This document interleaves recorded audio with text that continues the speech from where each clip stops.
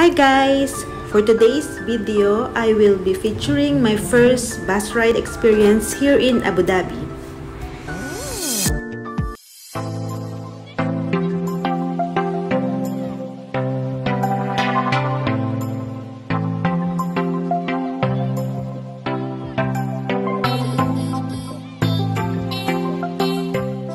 If you want to use a bus in Abu Dhabi, don't expect to be able to use cash.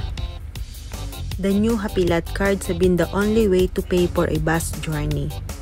The Hafilat, which means buses in Arabic, is a prepaid card, much like a debit card that allows you to travel on any of the Department Transport public buses in Abu Dhabi.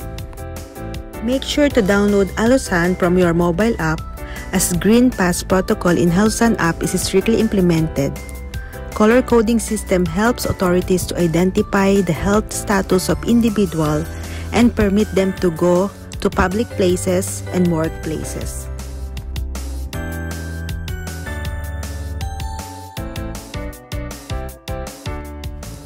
Abu Dhabi is the capital of the United Arab Emirates.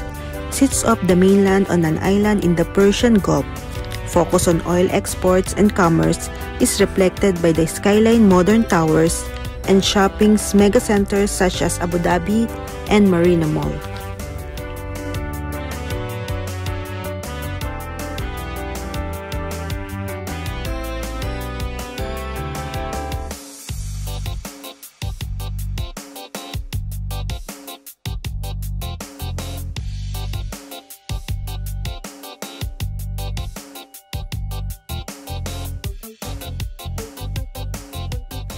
Sheikh Zayed Grand Mosque is also located in Abu Dhabi, the largest mosque in the country and the key place of worship and daily prayers. This masjid is also called masterpiece of this century. For those who wants to visit and pray, there are two lanes for lady and for men. Ladies are provided freshly laundered abaya and men are provided kandura. There are no charges for the dress and there is no entrance fee in the mosque.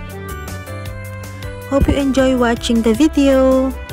Please don't forget to subscribe, like, shares, comments, and hit the notification below. Thank you.